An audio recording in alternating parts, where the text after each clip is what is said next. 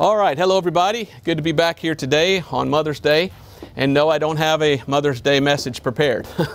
We're going to talk about some of the stuff we talked about last week. And so I'm kind of excited about that and looking forward to uh, adding to last week's teaching. Last week we looked at the seven feasts of Israel and how each one of those feasts line up with the life of Jesus Christ. Amen?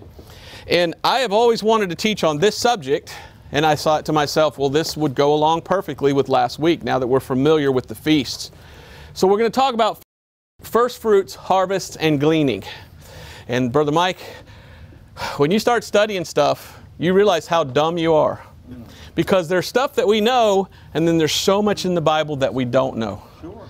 That we just go, man, God is so smart. I can't wait to have that glorified body so I'll know. So I'm going to teach you today what I know, but when you get to the last one here, you're going to see what I don't know. And I have questions.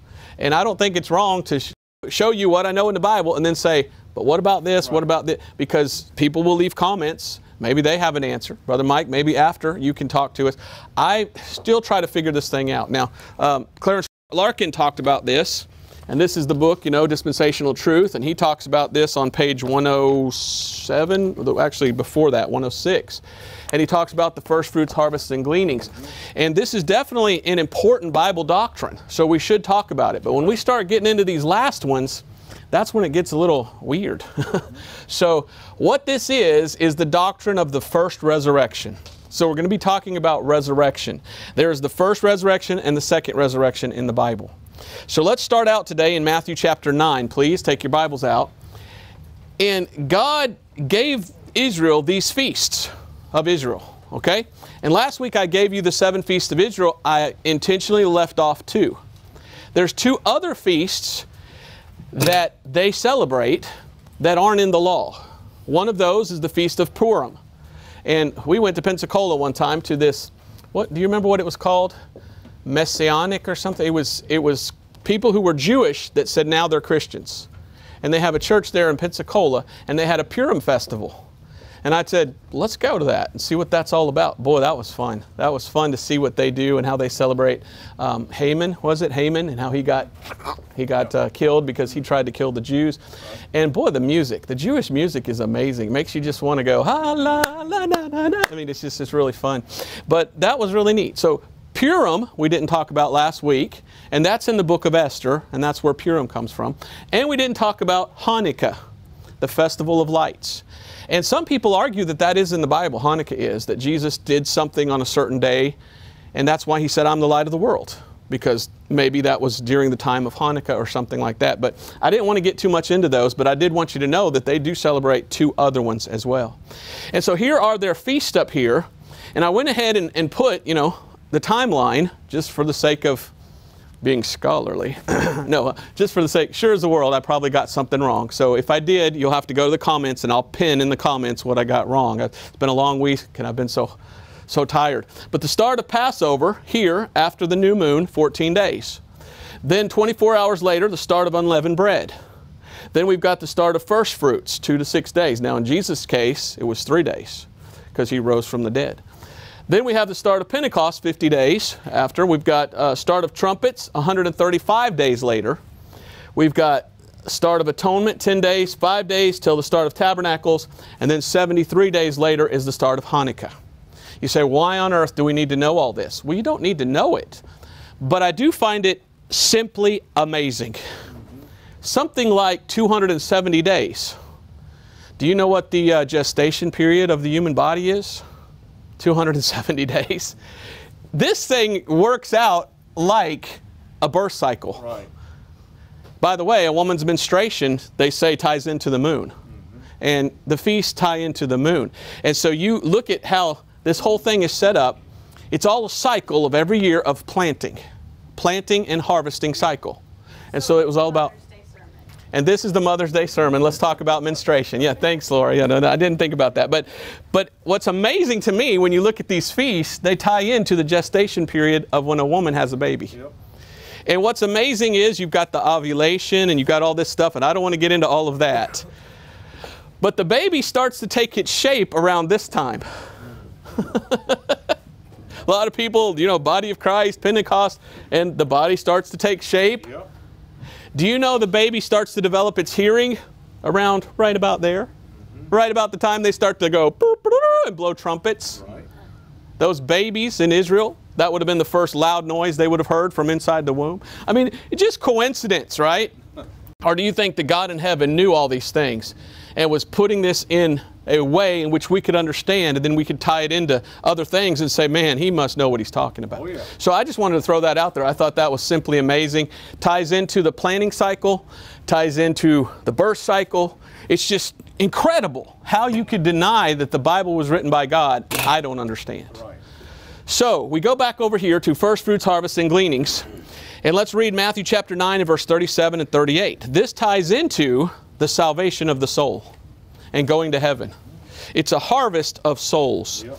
Matthew chapter 9, verse 37 and 38. Then saith he unto his disciples, The harvest truly is plenteous, but the laborers are few. Pray ye therefore the Lord of the harvest that he will send forth laborers into the harvest. Now go over to the book of James, chapter 5. James chapter 5. God is telling Israel to make a harvest of food, but in God's eyes, there's a harvest of souls. And He wants souls to get saved. James chapter 5, verse 19 and 20. James 5 19 says, Brethren, and if any of you err from the truth and one convert him, see, that's when we have church. We want to see people converted, we want to see them saved. Let him know that he which converteth the sinner from the error of his way shall save a soul from death and shall hide a multitude of sins. Saving a soul. So, what we're going to look at today, and turn with me to the book of Exodus, is this cycle of planting and harvesting, and how a farmer and what he does and how he harvests, in God's eyes, is like harvesting souls from the world. Yep. And do you know what first fruits, harvest, and gleanings is? Do you plant gardens? Maybe you're not a farmer, but maybe you plant a garden. And you get out, well, here in Florida, we start planting like in February, sometimes January, but you get out there and you plant, and you put out those tomato plants, and you're waiting, and you're waiting, and here comes March, here comes April, and you look, oh, I got a green one, and you're excited, and one day you come out and it's red.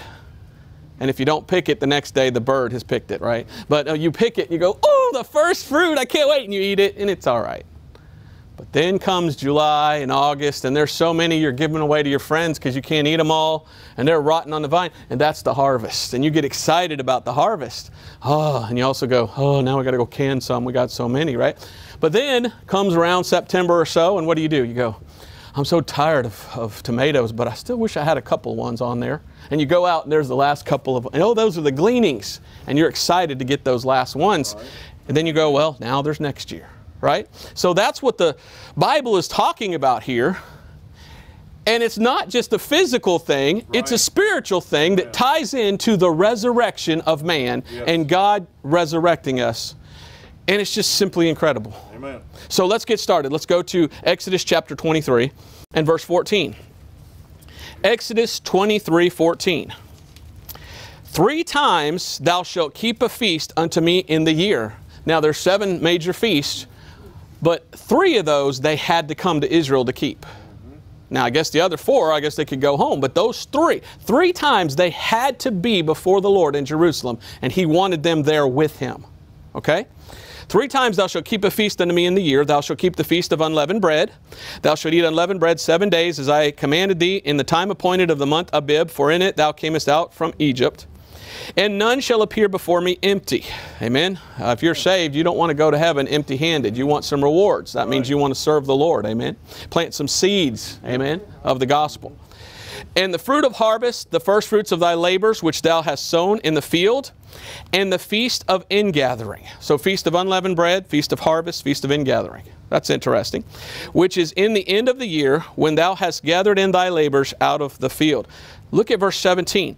Three times in the year, all thy males shall appear before the Lord God.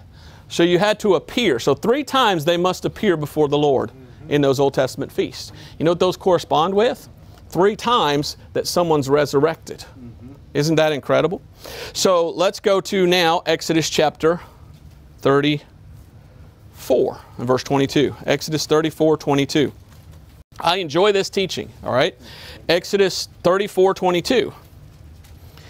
And thou shalt observe the feast of weeks of the first fruits of wheat harvest and the feast of ingathering at the year's end.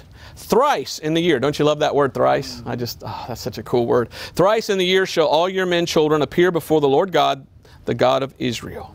So three times a year, they had to literally come to Jerusalem and appear before the Lord. We're going to see that that corresponds with three times in history when God takes somebody up and resurrects them. Mm-hmm. So this is pretty incredible, and I can't wait to get into this. And what are these three times? The Feast of Unleavened Bread, well, that's right here after Passover. So they had to show up for the first feast, okay? And that's the Feast of Unleavened Bread, so they had to show up there.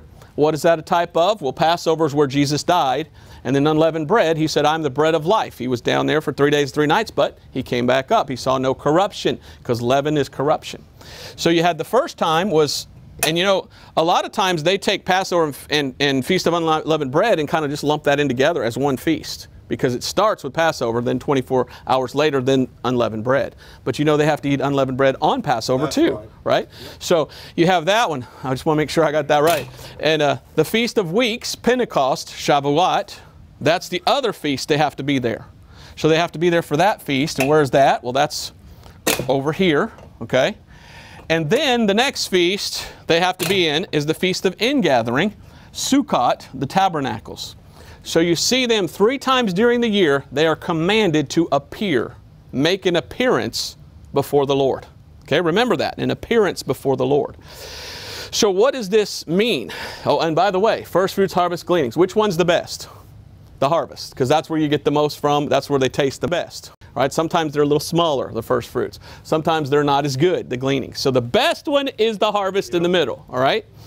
So we look at these, and what we find is that these three feasts are types of a resurrection that Jesus does. And without further ado, let's just get into this. I'll probably end a little early today, but that's in case we have some questions, because I'd love to have some questions, because I still have some questions, to be honest with you. But uh, let's look at this. Let's go to 1 Corinthians chapter 15. And Brother Ray brought this one up last week, and I'm glad he did.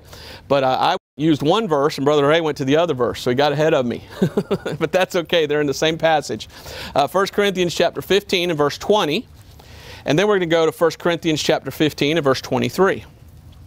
So 1 Corinthians chapter 15 and verse 20, we read this.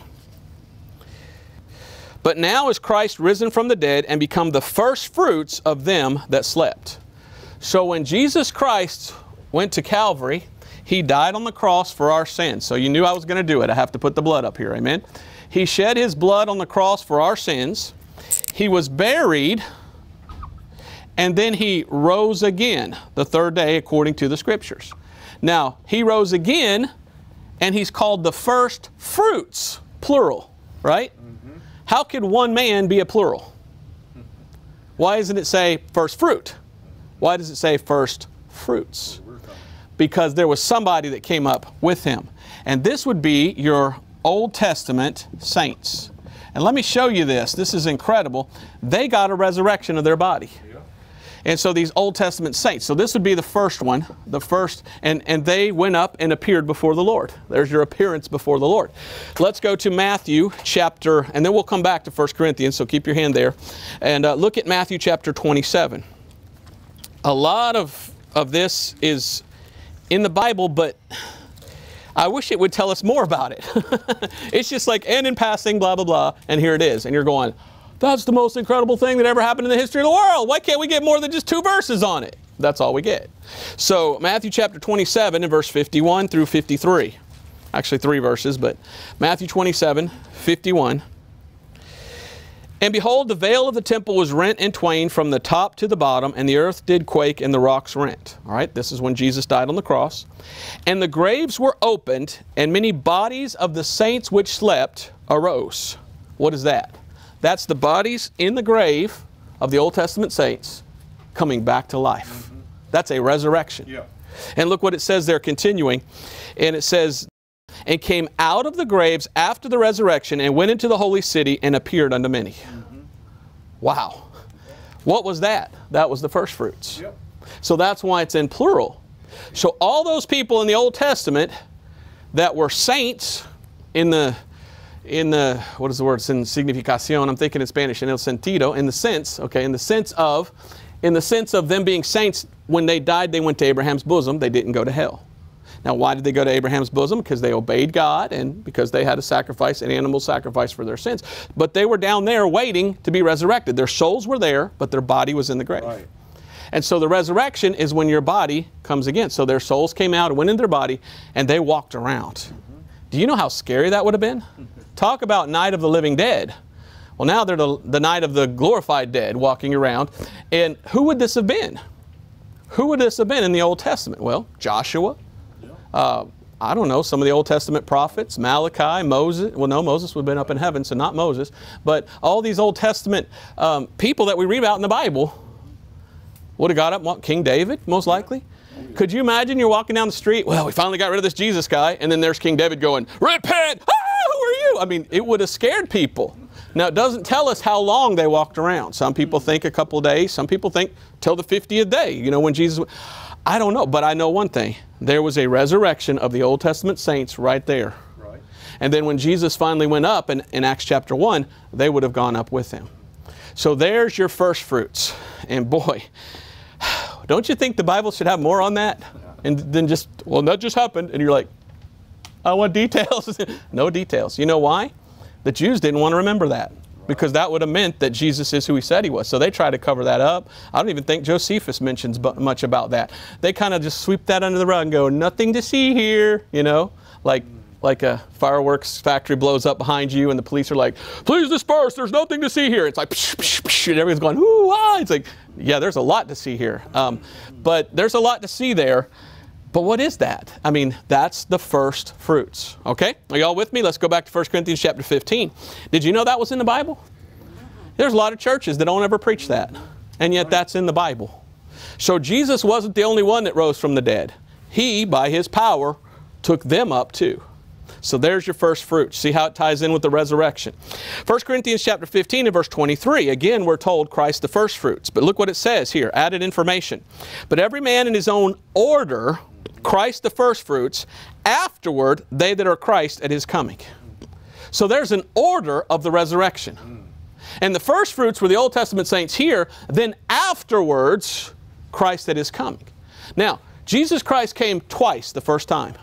He came born, then he lived 33 years and he died. Then he went up to heaven, put his blood on the mercy seat, came back down, and then 50 days, well, uh, yeah, what was it, 47 days later, on Pentecost, he went back up. So you see, the first coming of Christ, the first advent, has two parts. Why wouldn't the second advent have two parts? Right. Today, there's a lot of people running around saying, there's no such thing as the rapture, there's no such thing as the rapture. Okay, then you lose the type of the first coming Right. because the second advent, the seventh coming, there's two parts. The first part is the rapture. He comes in the clouds, just like he went up in the clouds, he comes in the clouds. Then he goes back up, and then he comes down in Armageddon. Yeah. And then he destroys the Antichrist. So clearly there must be a rapture in the Bible. You know why? The rapture is the harvest. Yep. And let's go to, well, we're in 1 Corinthians chapter 15, so let's go 1 Corinthians 15. We'll start in verse 35 and read down toward the end. And I want you to see this is all about a resurrection, and this is the rapture. 1 Corinthians chapter 15, verse 35. But some man will say, How are the dead raised up? And with what body do they come? Thou fool. I find that funny. Paul calls somebody a fool. Um, a lot of people say, Oh, if you call someone a fool, you're going to hell. So Paul went to hell. No, Jesus, I think Jesus called someone a fool one time, didn't he? Yeah.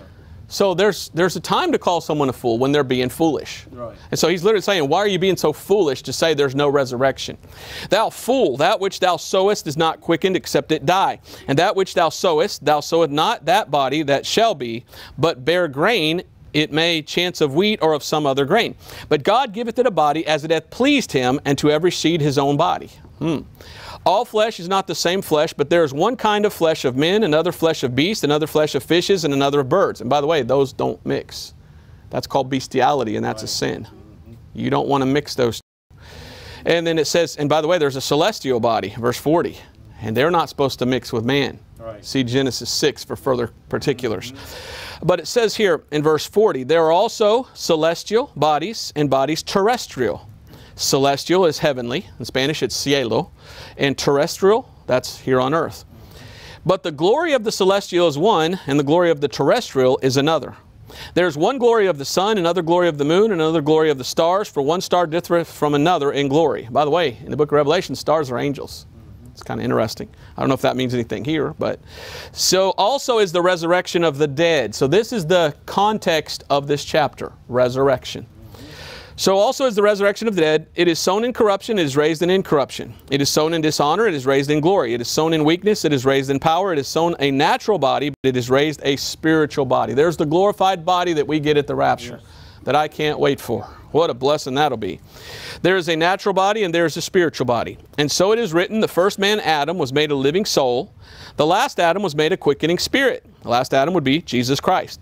Howbeit, that was not first which is spiritual, but that which is natural, and afterwards that which is spiritual. So before you can get up at the rapture and have a glorified body, you've got to have this body. Yep. So you got to be born before you can be born again, right? That's just plain simple logic. In uh, verse 47, the first man is of the earth, earthy. The second man is the Lord from heaven. As is the earthly, such are they also that are earthly, and as is the heavenly, such are they also that are heavenly. And as we have borne the image of the earthly, we shall bear the image of the heavenly. He's talking to Christians. Boy, one day we're going to have a body like Jesus' right. resurrected body. Now this I say, brethren, that flesh and blood cannot inherit the kingdom of God, neither doth corruption inherit incorruption. And then verse 51 down to 58 is the rapture. Yep. Interesting that our flesh and our blood is corrupt. Mm -hmm. So if we have corrupt blood in us, you think we take that blood to heaven with us? You ever think about that when the rapture comes? You get a glorified body. What do you leave behind? Your clothes and your blood. Yep, absolutely. What if the rapture came, boom, right now? And all those that weren't saved that are left behind, there'd be a pool of blood. And you'd probably start screaming, wouldn't you? You would probably have to go to an insane asylum and see something like that. And a pool of clothes and blood I didn't mean to go there, but that's going to be creepy. And I think the devil wants our blood, so the Lord's just like, here, you just take it. Imagine how stinky and nasty it would be after the rapture. How are they going to explain that away? Right. Well, here's what they'll probably do. Well, the outer space aliens did that mm -hmm. because those were the bigots that were intolerant and didn't like our way of life, right? Yeah, mm -hmm. pretty much. Anyway, verse 51 Behold, I show you a mystery. We shall not all sleep, but we shall all be changed. In the moment, in the twinkling of an eye at the last trump. Now that's not Donald Trump, although you know, if he did get in office again, that'd be more proof that the rapture is coming. But anyway, um, for the trumpet shall sound, and the dead shall be raised incorruptible, and we shall be changed. For this corruptible must put on incorruption, and this mortal must put on immortality. So when this corruptible shall have put on incorruption, and this mortal shall have put on immortality, then shall be brought to pass the saying that is written, Death is swallowed up in victory. O death, where is thy sting? O grave, where is thy victory? Now, I could read the rest, but for sake of time, you read the rest here. This is the rapture. Yep. So the rapture is going to be a resurrection. So this would be number two. And who would that be? Well, that would have to be the church age saints. Yep. And the church age saints would be those who are saved mm -hmm. today. Amen. And so, like my dad died, his soul is in heaven and his body is here in the grave. Well, at the rapture, his soul's coming down and his body will go up and then we'll all go up together. Now, we are alive and remain, shall be caught up together with him. So we get a glorified body, we get changed. We all go up together, and this is the harvest. Now, the souls are already in heaven, yep. but the body is going to come up. Right. So isn't that amazing? So let's go to uh, 1 Thessalonians chapter 4 real quick uh, for all those people out there. And boy, they're coming out of the woodwork in these last days. Mm-hmm. And all they're doing is proving the Bible true because they're scoffers. Yep. there's no rapture, there's no rapture. Oh, thank you for proving the Bible true. Because the Bible says people will fall into apostasy, yep. falling away. And we believe the rapture. And they don't, so they just prove the Bible. Right. But the Bible teaches the rapture, and the rapture's in 1 Thessalonians chapter 4, verse 13 to 18. And I have to go a little long on this because this is important. But I would not have you to be ignorant, brethren, concerning them which are asleep. So if you want to be ignorant, that's your, you help yourself. That you sorrow not, even as others which have no hope. See, the rapture is our blessed hope. You take that away from me, you're wanting me to be ignorant, and you want me to have no hope. No thanks. I know my Bible and I've got hope. And the only hope I have today is the rapture. That's right. Because this world's going to hell in a handbasket. Yep and you're trying to make me look forward to something without the rapture, what do you got to look forward to? Nothing. Right. Absolutely nothing to look forward to without Jesus. For if we believe that Jesus died and rose again, even so them also which sleep in Jesus will God bring with him. That's their body asleep in the grave, and their souls in heaven. For this we say unto you by the word of the Lord, that we which are alive and remain unto the coming of the Lord shall not prevent them which are asleep. For the Lord himself shall descend from heaven, three things, with a shout, with the voice of the archangel, and with the trump of God. Again, not Donald Trump, okay? And the dead in Christ shall rise first. Then we which are alive and remain shall be caught up together with them in the clouds to meet the Lord in the air, and so shall we ever be with the Lord. Wherefore comfort one another with these words. That's the only comfort we have. That's a yep. comfort. Wherefore comfort one another with these words. So this is the church age saints, and this happens at the rapture. And that's their resurrection. Now, do they get to walk around like these guys back here? I don't know. Wouldn't that be creepy? If uh, when the rapture comes, it says the last trump. So what's the first trump? So maybe God blows the first trump and they walk around for a couple days, like back then. Wouldn't that be neat? I can just see it. I'm sleeping one day and there's a knock at the door. Who is that? At 2 in the morning, I get down. It's my dad. I'm back. I'd be freaking out because he died 11, 12 years ago. But I don't know. Is it going to happen like it did back here? I don't know. But it says at the last trump, the twinkling of an eye, we go up. So I'm looking forward to that resurrection. Amen. And if we go without dying, well, then God changes us to a glorified body. What a blessing that would be to yes. go without dying. And there's a song like that. Oh, yeah. um, something, should we go without dying, caught up in the clouds? I mean, I can't remember the name of the song, but that's, that's a blessing. So there's your second one. First fruits, that was the Old Testament saints. Harvest, that's the church age saints, which would be what? New Testament. So that has to do more with the New Testament. These are those which trusted the blood of Jesus for salvation. Okay? These are those that trusted the promise of the coming seed because Jesus hadn't shed his blood yet. So they weren't trusting in the blood in the Old Testament, were they? But they trusted in a promise that someone will come one day and he will take us. So you have that, and then we get into the next one. And uh, before we get to the next one, let me show you this. These people that go at the rapture, they come back down at Armageddon. Yeah. And they'll be in their glorified bodies and reigning with Christ. Let me show you those verses real quick. Go to Revelation chapter 5 and verse 10. So we get to live again if we're saved. That's why salvation is called eternal what? Life. Life. But when we live again, we live again in a glorified yeah. body that can never fall and never sin. Right. That's what encourages me. I'll never be able to sin again. What a blessing that'll be. Amen. Revelation 5 and verse 10 and has made us unto our God kings and priests, and we shall reign on the earth.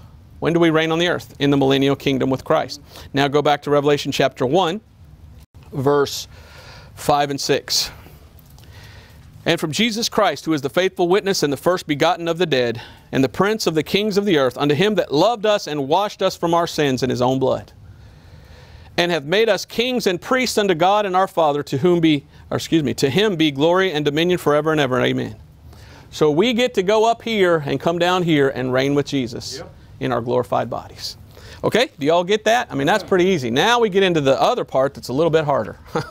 this one I have so many questions about, and I, I'll tell you what I know, and what I don't know, I'll just go, and I don't know what to say about that, you know, because I, I haven't quite got that together yet. But it doesn't matter. This is where we are now. This is where we get saved. We're in this dispensation. And I want you to get saved to go there. Because if you miss that, it's going to be really hard to get that next one. And some people online, they're teaching, well, if you miss the first rapture, don't worry, you'll just go with the second. I don't see that. No. I've done a video on YouTube, the seven raptures in the Bible. There's no second rapture. Whoops, I missed it. Well, I'll just get the next train. You know, no. Um, it's going to be way different in the tribulation than it is now. And so we're going to look at that. But after the rapture, I believe in a seven year tribulation. And let me show you why I believe that tribulation is seven years. Let me show you why, because a lot of people out there today, they don't believe that. They think it's a three and a half year. Mm. They say back here was the first three and a half years and over here is the last three and a half. No. I mean, that sounds great at first, but when you read the book of Revelation, you do not see that. Right. Let me show you the book of Revelation chapter 11 why I can't I can't swallow that. I can't believe that because I read my Bible and I don't see that happening. Right. Revelation chapter 11 verse 1 and 2. And this is getting exciting. I can't wait to get into this. Revelation 11, 1. And there was given me a reed like unto a rod, and the angel stood, saying, Rise and measure the temple of God and the altar and them that worship therein. A lot of people say the book of Revelation is already past, it's not future. Uh uh-uh. uh. Uh uh. It's future. Yeah. This is a future rebuilt temple. That's right. Did you all hear that in Israel they said this year they yeah. want to rebuild the temple? Right. and they're excited about doing that. Uh, next week will be the 14th, May 14th. What a great time! 73 years for them to rebuild their temple. Whew. Getting exciting, isn't it? I believe the book of Revelation's future, and we're seeing it. But look what it says here. And them that worship therein. So they rebuilt it, and they're in it worshiping. Now, verse 2 But the court which is without the temple, leave out and measure it not, for it is given unto the Gentiles. And the holy city shall they tread underfoot forty and two months. Forty and two months is three and a half years. Yeah. But before that three and a half years, they're in the temple doing something. So I could see him three and a half years in it, and then being kicked out in the middle, and then the last three and a half years, the Antichrist gets it. Yeah. Does that look like a future seven years to me? Yeah. I mean, excuse me, to me, to you?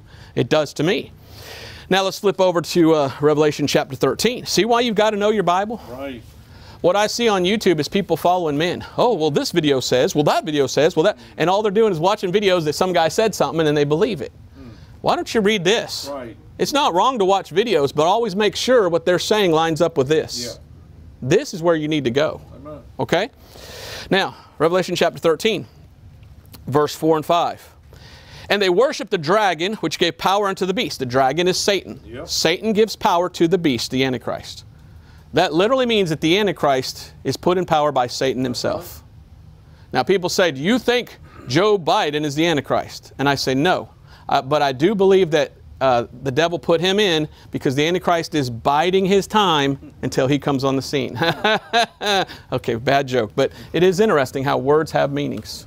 Somebody sent me something the other day where they said in Hebrew, the word Biden and the word Kamala there are two words that are very similar. One means judgment, and the other means destruction, or something like that.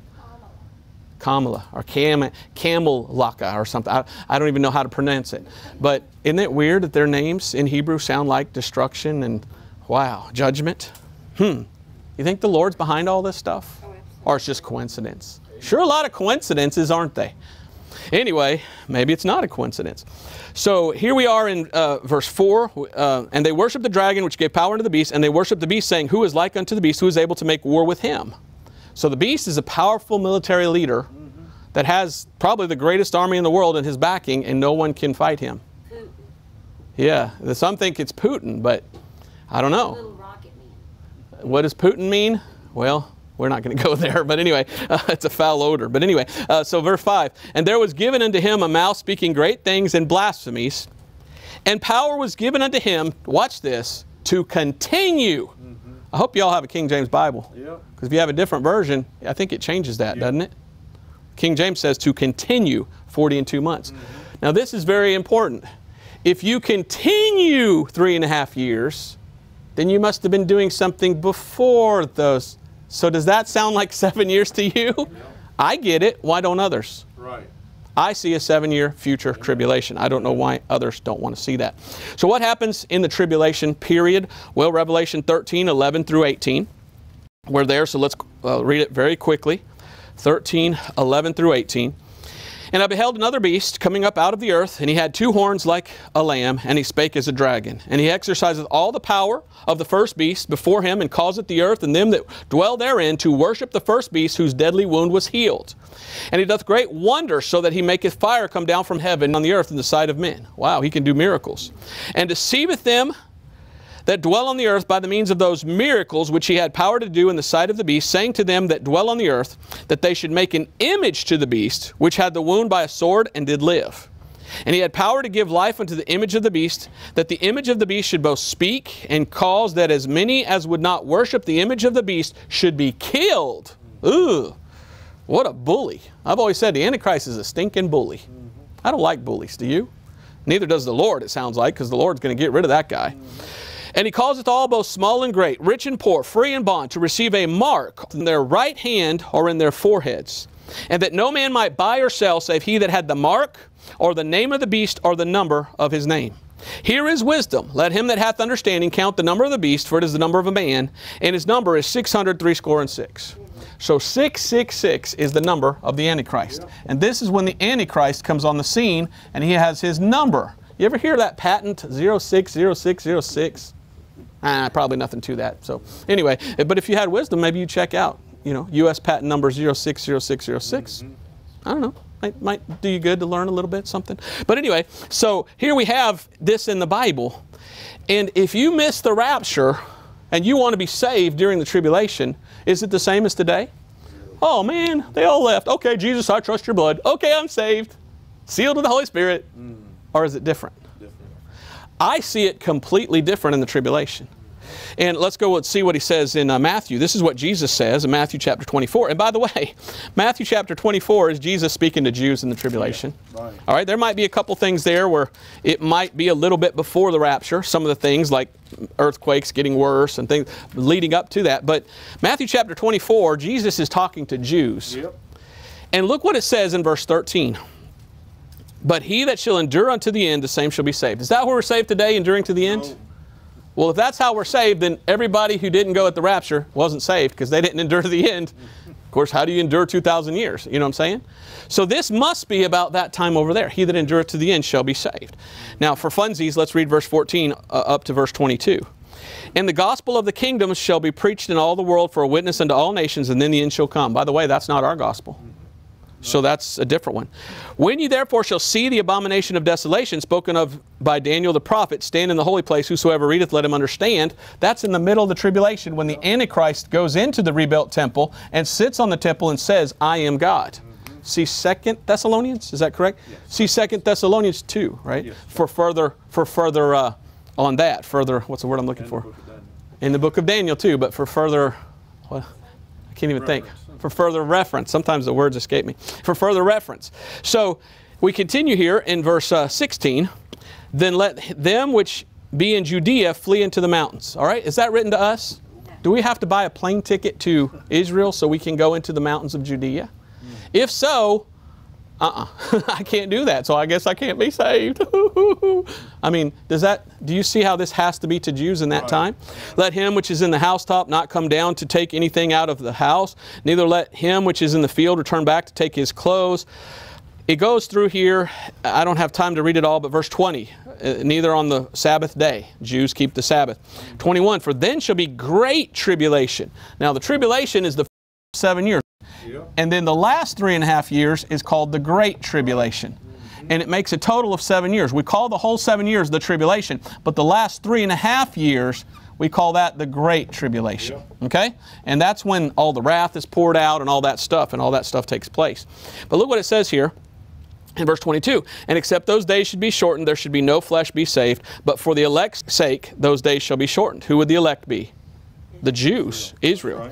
And I was going to read a little farther, but that's about as far as I'll go right there. You can read the rest of that in uh, well, verse 29, immediately after the tribulation of those days. And then there's all these birds that are feasting. Well, that sounds like Armageddon. So that's clearly applying to this time period. Now, go to Revelation chapter 12. Here's the thing. If you are a Gentile and you miss the rapture, you can't do that. so, how do you get saved in the tribulation period if you're a Gentile? That's a good question. And the answer appears to be you have to get your head cut off by rejecting the mark of the beast. Right. And I'm going to show you those verses. But let me show you this verse first. Revelation chapter 12, verse 1 through 6. And there appeared a great wonder in heaven, a woman clothed with the sun and the moon under her feet, and upon her head a crown of 12 stars. And it continues there and it talks about this woman bringing forth a man child, verse 5 and he's to rule with a rod of iron. Well, this, I believe, is Israel. That represents Israel. And the man child was Jesus. Okay, now verse 6. And the woman, Israel, fled into the wilderness where she hath a place prepared of God that they should feed her there a thousand two hundred and three score days. That's one thousand two hundred and sixty days. Do you know that's exactly three and a half years or exactly 42 months? Mm-hmm. The Bible's pretty specific, isn't it? People go, oh, that's just a metaphor. and yet it gives you exact number of days that something's right. going to happen. Oh, a metaphor, huh? That's figurative, is it? Mm. Okay. Uh, so it continues there, and I, I can't read the whole thing for sake of time. But she flees into the wilderness and skip down there to verse 13. And when the dragon saw that he was cast into the earth, he persecuted the woman which brought forth the man child. So he's persecuting the Jews. Yep. And to the woman were given two wings of a great eagle. Now, some people, you know what they say? That's America because our nation has an eagle. I don't know. I would like to think that America exists during that time and they're still protecting Israel, but our country really isn't protecting Israel today, are they? So I don't know. I have hope that maybe things will change and we'll be good to Israel again, but I don't. But it is interesting that it says two wings of a great eagle that she might fly into the wilderness into her place where she is nourished for a time, times and a half a times. Well, if a time is a year, a time, that's one, times, that's at least two, and a half a time, that'd be three and a half years. I mean, it's just right there in your face I mean, if you just simply read it. And it says, for a time, times, and half a times from the face of the serpent. And the serpent cast out his mouth water, cast out of his mouth water as a flood after the woman, that he might cause her to be carried away of the flood. And the earth helped the woman, and the earth opened her mouth and swallowed up the flood which the dragon cast out of his mouth. I wonder if that was an earthquake that did that. And the dragon was wroth with the woman, and went to make war with the remnant of her seed, which keep the commandments of God and have the testimony of Jesus Christ. That doesn't sound like faith alone gospel, does right. it? Sounds a little bit different. So today, Jews don't believe in Jesus as their Messiah. And they will believe because there's two witnesses that are coming yep. that will witness to them and show them. And they'll realize, oh, it's Jesus. And they, they will begin to believe that Jesus was the true Messiah. But then God will have to protect them because the goal of the Antichrist is to exterminate every Jew off the face of the earth. So we see God protecting them. Now it makes sense. He that endureth to the end. Okay, and that group of Jews, if they can endure to the end, then they'll be saved and come into the millennium. Right. But what about a Gentile? How does a Gentile get saved? We'll go to Revelation chapter 6. If you're not a Jew and you don't convert to Judaism and you can't afford a plane ticket to go over there so you can flee into the mountains, then what do you do? How do you get your soul to heaven? Like we got our soul to heaven here by believing in the blood of Christ. How do you in that time get to heaven? Revelation chapter 6 and verse 9. And when he had opened the fifth seal, I saw under the altar the souls of them that were slain for the word of God and for the testimony which they held you have some people who are called martyrs. Do you know what a martyr is? Someone who dies for Jesus Christ. And it sounds like the Antichrist will be the one that kills them. Because he's going to tell the whole world, you take my mark. And that mark is connected with Satan and worshiping him, the dragon, Satan. So if you become a believer in Jesus in that time, you would say, no, I can't do that because I believe in Jesus. So what are they going to say? Well, then fine, why don't you just die? It's either die or take the mark. Um, okay, kill me. Now, how do they kill them? Let's go to Revelation chapter 20 and verse 4. There's a thing called beheading. Yep. And it looks like the way that they will kill them, by the way, what, 30,000 guillotines yep. our government bought back in the 90s? Why would you have a bunch of guillotines waiting around? I don't know. No, just coincidence again. Uh, Revelation chapter 20 and verse 4. And I saw thrones, and they sat upon them, and judgment was given unto them. And I saw the souls of them that were beheaded for the witness of Jesus. Mm-hmm. Do you see that? Beheaded. Yep. Beheaded for the witness of Jesus and for the word of God, and which had not worshipped the beast, neither his image, neither had received his mark upon their foreheads or in their hands, and they lived and reigned with Christ a thousand years. Yep. So they live again, and they reign with Christ a thousand years. So this we would call, number three, I guess we would call these the gleanings. Mm-hmm. And these would be your tribulation saints. Right. But very few make it through alive. Sounds like just the Jews do. Now, there might be some Gentiles that somehow make it through. I don't know how. Uh, maybe they have like an underground layer and, and they get underground and they've got 20 years worth of food and they, but you know how hard that would be? Mm. Um, It'd be very hard to do that. The best way to know for sure you're going to heaven if you miss the rapture is to be the first one in line for the beheadings and say, No, the Bible says my soul's up there, so please cut it off, you know? So get this. We're saved today because someone shed his blood for us. Yep. And we're trusting in that blood to get us to heaven. Amen. You miss the rapture, you've got to tell that person, I love you enough to shed my own blood for you. And now you've got to be willing to shed your blood for him who died for you because you rejected him here. That's pretty sad, isn't it? But that's what it sounds like is you got to be willing to say, you know what, I'm going to I'm going to die for Jesus. Now, there's your three right there. First fruits, well, those are the Old Testament saints. Harvest, that's the church age saints. Gleanings, that would be your tribulation saints. But now, I got a list of questions. Jesus comes back at Armageddon. Those that were beheaded, their souls are up here, so I guess there must be some sort of resurrection to get their bodies back. Do they get a glorified body like us? Do they deserve it? I don't, do they get a natural body? Does God resurrect them and let them take off again like they were before in a natural body? We don't get a natural body. We get a glorified body. So do they get a glorified body? See, I've got questions. I don't know. Um, we go to the judgment seat of Christ. Did they go before the judgment seat of Christ when they die? What would they be judged for? What would they get a reward for? Except here, you, you love me enough to cut off my hair. Okay, here's a robe. And that's the only reward they get or something. It's different because the Bible says that we today in the church age are washed in the blood of Christ. He washes us, He washes our robe. But it says about them, they wash their own robes in the blood of Christ. So there are differences between the church age and the tribulation. Right.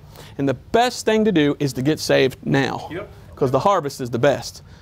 Don't be one of the gleanings. Right. But if you weren't saved and the rapture takes place, you better be willing to let your head be cut off rather than take the mark of the beast. That's what the Bible tells. So I got lots of questions. Do tribulation saints get a glorified body or are they back in their natural bodies? Do people get saved in the millennium? How does that happen? you ever think about that? Millennium's a completely different thing. There will be Jews that make it through the tribulation and then they get to populate in the millennium for a thousand years. How do people get saved in the millennium? When is the next? Well, all this from here to here is called the first resurrection in the Bible. Then the Bible talks about the second resurrection, which would be the dead that died during the millennial kingdom.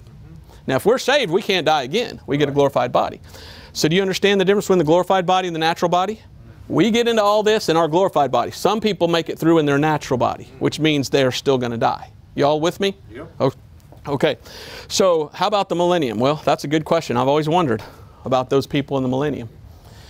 But anyway, uh, Revelation chapter 20, verse 11 through 15. Let me show you this. At the end of the millennial kingdom, I think I skipped something. Yeah, I did skip. Let's start in verse 5. Revelation 20 verse 5. But the rest of the dead lived not again until the thousand years were finished. This is the first resurrection.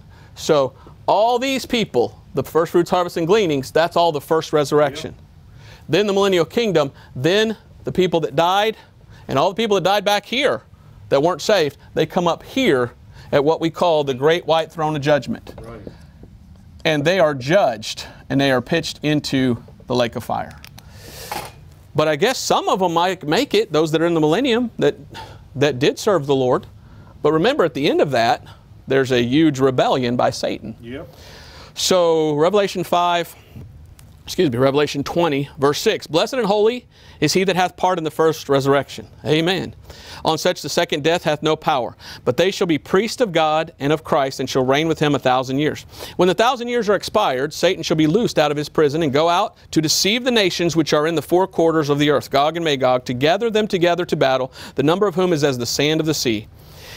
And they went up on the breadth of the earth and compassed the camp of the saints about and the beloved city and fire came down from heaven out uh, fire came down from God out of heaven and devoured them. And the devil that deceived them was cast into the lake of fire where the beast and the false prophet are. Now let's read verse 11 and I saw a great white throne and him that sat on it from whose face the earth and the heaven fled away and there was found no place for them.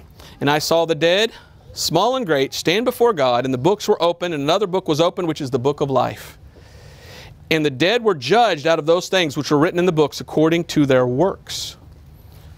And the sea gave up the dead which were in it, and death and hell delivered up the dead which were in them, and they were judged every man according to their works. Thank God I won't be there. Right. Because I went to the other judgment, the, the judgment seat of Christ.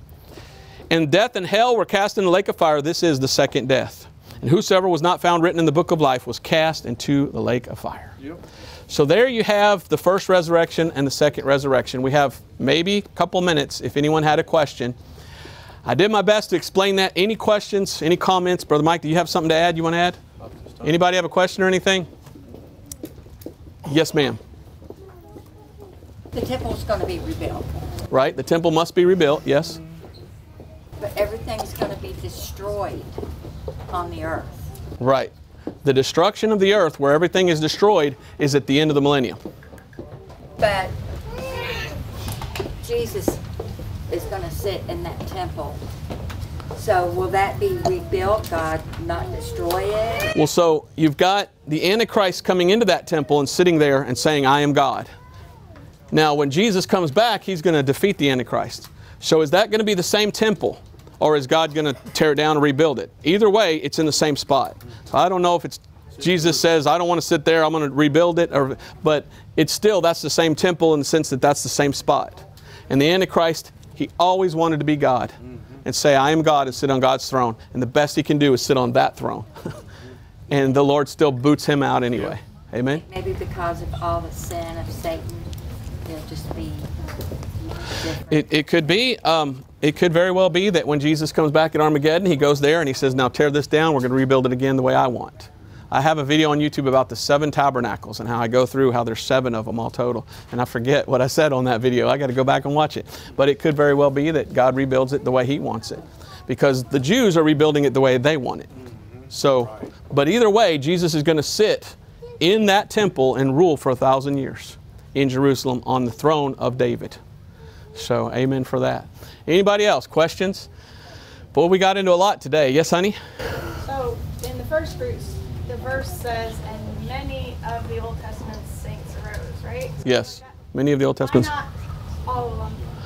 That's a good question. Many of them which slept arose. Um, is that all of them? I don't know. But it sounds like it cleared out Abraham's bosom because the Bible says hell hath enlarged itself. So it took out all those. But um, that's a great question. Many must be all of them or something. I, I don't know. But what else? What else? Anybody else? Okay, it's time. So thank you for listening. Any other questions come afterwards because I like to talk about this stuff and I hope it's been a blessing. All right, thank you very much. Bye bye.